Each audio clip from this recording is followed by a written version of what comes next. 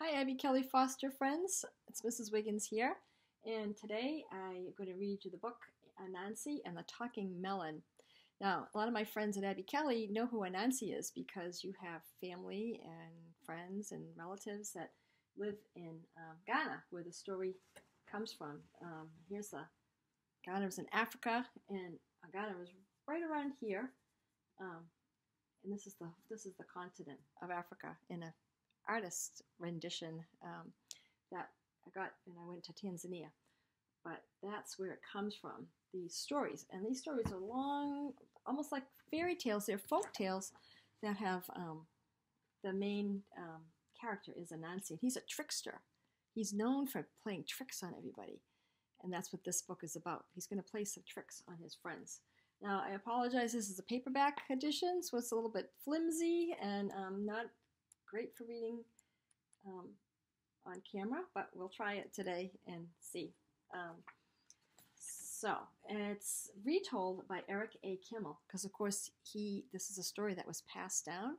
So he's telling his own version of it, Eric Kimmel, and it's illustrated by Janet Stevens. And this looks like a big basketball, but that's the melon like a cantaloupe, something we might have. That's a big melon. And there's Anansi on the front cover.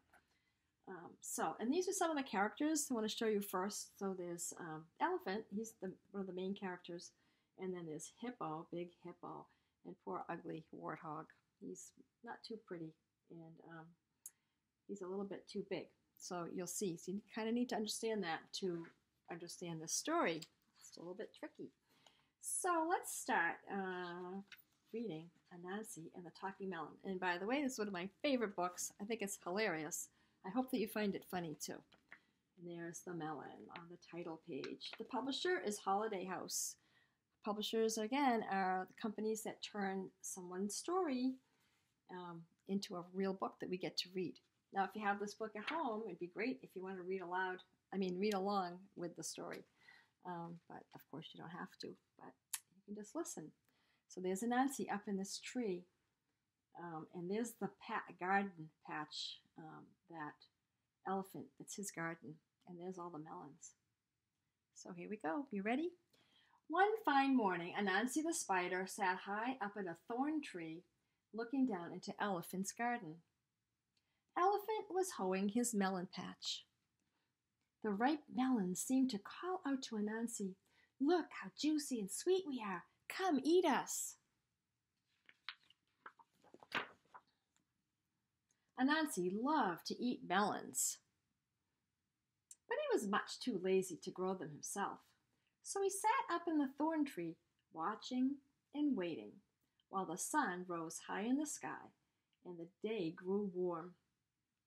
By the time noon came, it was too hot to work. Elephant put down his hoe and went inside his house to take a nap. Here was the moment Anansi had been waiting for. He broke off a thorn and dropped down into the melon patch. He used the thorn to bore a hole in the biggest, ripest melon. I think he's hungry. He made a hole in the melon so he can get down in there. Anansi squeezed inside and started eating. He ate and ate until he was as round as a berry. I'm full, Anansi said at last. Elephant will be coming back soon. It's time to go. But when he tried to squeeze through the hole, Anansi had a surprise. He didn't fit.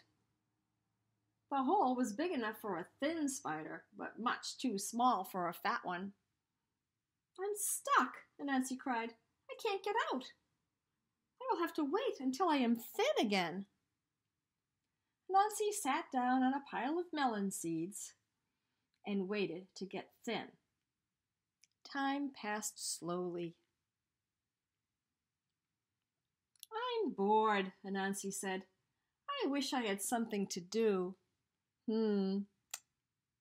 I think I hope he doesn't get into mischief. He loves to play tricks and he's got lots of time to think. Just then, he heard Elephant returning to the garden. Anansi had an idea. When Elephant gets closer, I will say something. Elephant will think the melon is talking. What fun! Elephant walked over to the melon patch. Look at this fine melon. How big and ripe it is, he said, picking it up. There's Anansi. It's the one with the hole. Uh-oh. Ouch! cried Anansi. Elephant jumped. Uh, uh, who said that? I did, the melon, Anansi said. I didn't know melons could talk, said Elephant. Of course we do. We talk all the time. The trouble is, you never listen. I can't believe my ears, Elephant exclaimed. A talking melon? Who could believe it? I must show this to the king. Elephant ran down the road, carrying the melon with Anansi inside.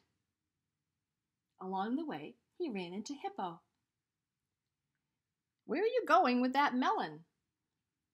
Hippo asked. I'm taking it to the king, Elephant told him. What for? The king has hundreds of melons. He doesn't have one like this, Elephant said. This is a talking melon. Hippo didn't believe Elephant. A talking melon? What an idea. That's as ridiculous as. A skinny hippo, the melon said. Hippo got so angry, his face turned red. Who said that? Did you say that, elephant? It wasn't me. It was the melon, elephant said. I told you it talks. Do you believe me now? I do, Hippo exclaimed. I, I, I want to go with you. I want to hear what the king says when you show him this talking melon. Come along, then, said Elephant. So Elephant and Hippo went down the road together, carrying the melon. By and by, they ran into Warthog. Where are you taking that melon? Warthog asked them. We're taking it to the king, Elephant and Hippo told him. What for? The king has hundreds of melons, Warthog said. He doesn't have one like this, Hippo replied. This melon talks. I heard it. Warthog started to laugh. A talking melon? Pfft, why, that's as ridiculous as. A handsome warthog, said the melon. Warthog got so angry he shook all over. Who said that? Did you say that, elephant? Did you say that, hippo? Of course not, Hippo and Elephant told him. The melon talks. Do you believe us now? I do, cried Warthog. Let me go with you. I want to see what the king says, does when you show him this talking melon. So Warthog, Elephant, and Hippo went down the road together, carrying the melon.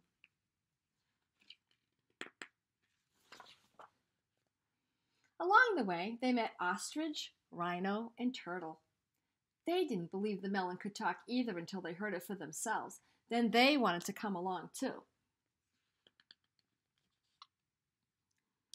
All going down to see the king. Oh, this is the king. He's a chimpanzee, but he's got a crown on his head, so you know he's the king. The animals came before the king. Elephant bowed low as he placed the melon at the king's feet. The king looked down. Why did you bring me a melon? he asked Elephant. I have hundreds of melons growing in my garden. You don't have one like this, Elephant said. This melon talks.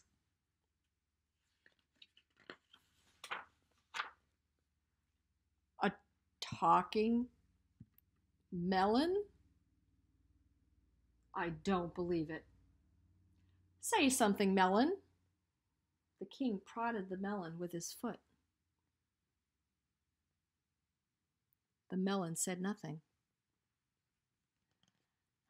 Melon, the king said in a slightly louder voice, there's, there's no reason to be shy. Say whatever you like. I only want to hear you talk. The melon still said nothing. The king grew impatient. Melon, if you can talk, I want you to say something. I command you to speak. The melon did not make a sound. The king gave up. Oh, this is a stupid melon, he said.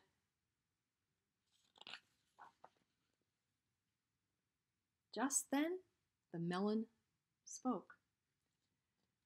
Stupid, am I? Why do you say that? I'm not the one who talks to melons. The animals had never seen the king so angry. How dare this melon insult me? he shouted.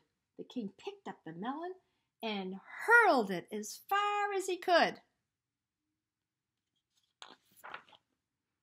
The melon bounced and rolled all the way to Elephant's house. Crumph! It smacked into the thorn tree and burst into pieces. Anansi picked himself up from among the bits of melon rind. All the excitement had made him thin. And now that he was thin again, he was hungry. Anansi climbed the banana tree. He settled himself in the middle of a big bunch of bananas and started eating.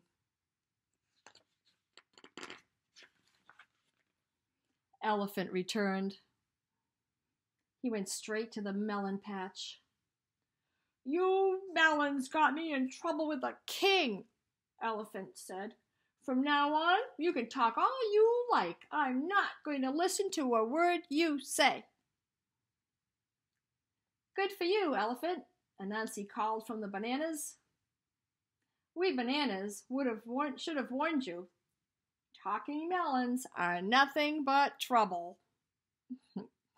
so you see, he's he's gone to the bananas now, and now he's gonna. If he goes inside the banana, he'll be a talking banana and fool some more animals. Maybe he think he. I think he liked that trick that he pulled on them. Um, and so, Anansi and the talking melon.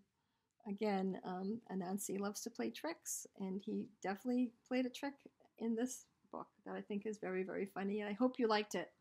And I hope that you keep reading, read every day, don't forget, and be kind. Kind to your family and your friends that you're with. Okay? And I hope you have a great um, day. Bye.